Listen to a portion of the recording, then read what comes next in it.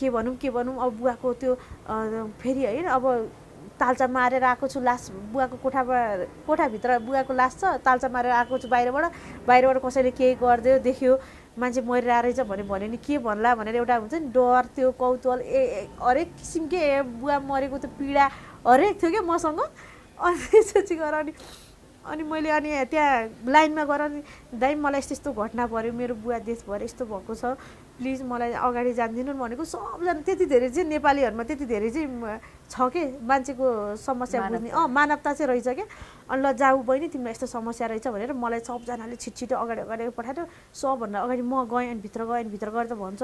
अनि तपाईँको यो कसरी सम्हालेर त्यहाँसम्म प्लेन टिकट कसले टिकट दिने तिम्रो भनेर सोध्नु भयो कि? त्यहाँ जो हुन्छ नि भिजा दिने मान्छेले।